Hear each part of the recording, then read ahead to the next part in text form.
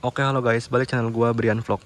Nah jadi hari ini gue bakal nge-review part karbon apa aja sih yang bikin Aerox ini bener-bener ganteng dan kece parah. Nah sekarang kita bakal review aja karena yang nanya juga banyak kemarin soal perkarbonan. Nah yang pertama kita bakal bahas dari bagian cockpit dulu nih. Nah cockpitnya kalau ada yang nanya, nah ini tuh sebenarnya uh, bukan part original. Jadi ini hanya cover tempel pakai 3M. Nah ini belinya di DCS Auto. Kalian bisa buka Tokopedia-nya ada DCS Carbon atau DCS Auto. Jadi ini sistemnya di di lem ya pakai 3M sampai bawah sini semua nutupin speedometernya banget. Jadi ini tapi nah ini minusnya kalau kalian beli beli kayak cover dasi cover tanki cover speedometer pasti nggak bakal sepresisi part original. Nah kayak gini jadi minusnya kayak masih kelihatan si warna bawaannya nih silver gini. Terus di bagian sini juga nih tuh kurang rapi. Tapi bat ini untuk dari jauh bener nggak bener-bener kece.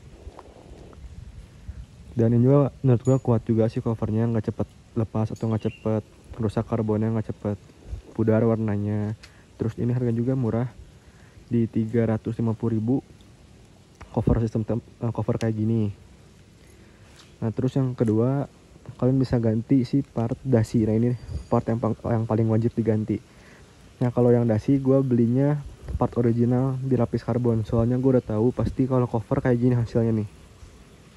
Nah, jadi cover dasinya gue beli part original. Jadi bener-bener presisi nih dari ujung sana sampai bawah semua bener-bener tuh bener-bener presisi nggak ada yang kebuka-buka. Sistemnya juga sama PNP sama yang dasi ori tinggal dilepas ganti yang ini.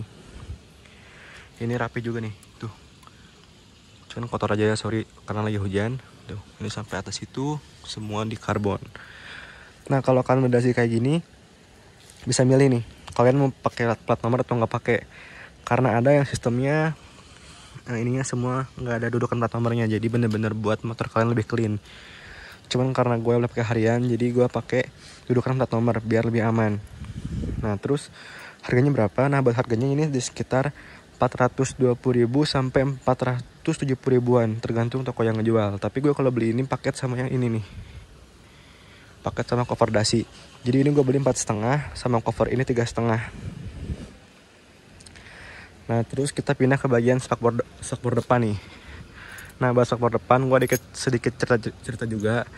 Kalau kalian beli spakbor depan gue saranin jangan beli yang fiber. Kenapa? Karena Nah kalian tahu sendiri ya kalau bahan fiber itu nggak kuat tahan lama atau nggak kuat karena batu atau kerikil atau gimana. Jadi rentan pecahnya lebih gede daripada uh, cover yang kayak spakbor asli dilapis gitu. Jadi gue pakai gue kemarin juga bingung nggak ada yang jual kok ininya doang. Jadi harus beli yang fiber asli fiber. Nah gue takutnya gue pakai bentar pecah. Jadi gue request ke Baraka Karbon buat bisa nggak bikinin uh, si jadi ininya tetap spakbor asli dilapis lagi karbon.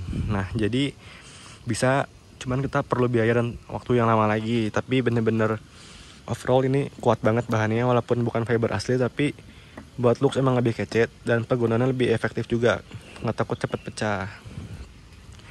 Nah terus enaknya ini tuh modelnya model original nih. Kalau yang fiber itu setahu gue modelnya tuh dari ujung sini sampai depan sini juga nggak pas kayak yang ori tapi lebih panjang dikit jadi gue kurang suka looksnya sama bahannya takutnya cepet pecah. Nah kalau kata gue saran gue saranin kalau kalian emang pakai harian terus pakai jorok juga mendingan pakai part gini walaupun bukan fiber asli tapi kemas aja kuat jadi aman lah. Ini harganya empat setengah di Barokah Karbon. Kalian bisa chat aja uh, eh, WA atau ke Instagram dianya karena ini bisa request. Terus ke bagian knalpot nih. Nah buat knalpotnya gue pakai nah ini juga yang nanya juga banyak nih kemarin bang itu gimana nyarinya di mana? Nah ini sebenarnya ini gue beli lagi part asli jadi bukan bukan part original gue karbonin tapi gue beli lagi part jadi. Nah ini belinya di No Limit Matic Shop. Ini bener-bener PNP banget. Untuk ropuan semua ropuan PNP harganya di 350 ribuan. Tapi bener-bener ini look sekarang lebih kece banget nih. Nah tapi ya balik ke kalian masing-masing gue juga sebenarnya takut pakai cover kayak gini soalnya nonton pecah. Jadi kalau kalian emang sayang mendingan stikerin aja ininya. Pakai eh, yang transparan atau pakai warna lain soalnya lebar. Kalau misalnya ke gesek-gesek ke baret-baret pasti cara racat terus belum pecah pasti pecahnya gampang gitu.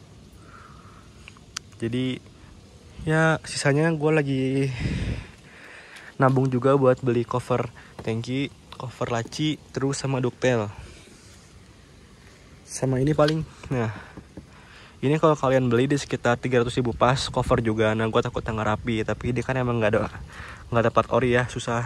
Jadi harus ditempel. Ya paling gue selanjutnya ganti duktel part ori sama ini cover. Tangki sama cover sama cover laci